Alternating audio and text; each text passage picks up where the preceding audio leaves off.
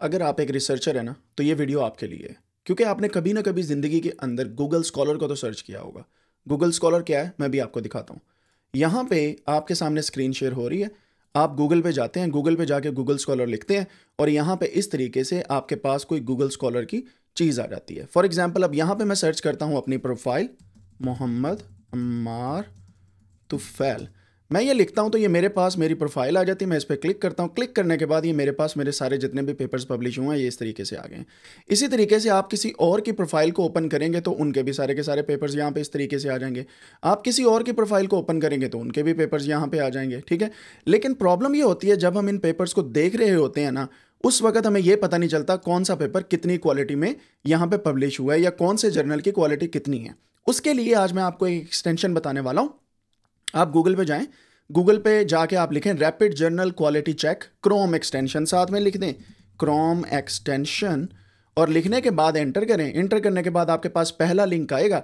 उस पर करना है आपने क्लिक क्लिक करने के बाद आपके पास ये इस तरीके से एक एक्सटेंशन आ जाएगी। इसके बारे में सारी इन्फॉर्मेशन यहाँ पे लिखी हुई है। आपने ऐड टू क्रोम पे क्लिक करना है। ऐड टू क्रोम पे क्लिक करने के बाद ये एक्सटेंशन आपके क्रोम के अंदर ऐड हो जाएगी।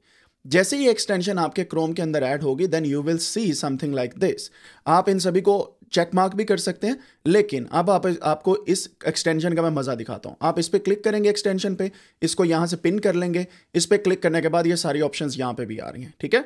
And then you will see any other profile go and refresh that page and आपके पास हर एक पेपर की क्वालिटी प्लस पे क्लिक करेंगे and there are other parameters वो आपके पास आ जाएँगे। यानी कि पेपर की क्वालिटी क्या है? पेपर के ऊपर डिफरेंट किस्म के जो मैट्रिक्स हैं जो इस एक्सटेंशन के थ्रू दिए हुए हैं यू कैन चेक जैसे कि यहाँ पे आप देख सकते हैं कि ये मेरा क्यू वन के अंदर है ये भी क्यू वन के अंदर है। क्यू वन के अंदर पेपर है जो क्यू वन वाले हैं वो ग्रीन कलर में आ रहे हैं। क्यू टू वाले पेपर मेरे पास जो है वो ऑरेंज कलर के अंदर आ रहे हैं। सो so, इस तरीके से अगर मैं किसी और की प्रोफ़ाइल देखूँ फॉर एग्जांपल ये मेरा एक दोस्त है, इसकी मैं प्रोफ़ाइल ओपन करता हूँ। डार साहब के पेपर माशाल्लाह काफ़ी पब्लिश हुए हैं। तो अगर आप गौर करें तो उनके ज़्यादातर पेपर जो हैं, वो क्यू वन के अंदर पब्लिश है। ये क्यू टू के अंदर है which we have common authorship तो यहाँ पे आप चेक कर सकते हैं सारे के सारे पेपर्स की क्वालिटी कैसी है। और हो सकता है आपकी लाइफ के अंदर कोई ऐसा एक प्रोफेसर है, जिसके पास आपने काम करना है फ्यूचर के अंदर so you can search that professor for example मैं गूगल पे जाता हूँ, यहाँ पे हमारे फ़ील्ड के अंदर एक बहुत बड़ा नाम है बर्नार्ड ए क्लिक का। तो यहाँ पे मैं क्लिक करता हूँ बर्नार्ड बी आर क्लिक इनकी प्रोफ़ाइल आ जाती है, ये प्रोफेसर हैं कनाडा के अंदर।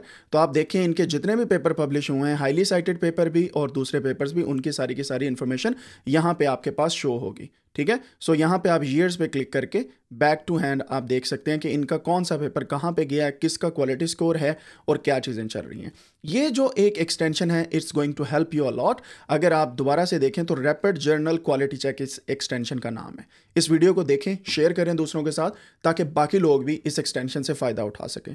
और ज़्यादा और इस तरह की वीडियोज़ देखने के लिए शेयर करें सब्सक्राइब करें लाइक करें और कमेंट सेक्शन में मुझे बताइएगा आप नेक्स्ट कौन सी वीडियो देखना चाहते हैं। Take care and Allah Hafiz.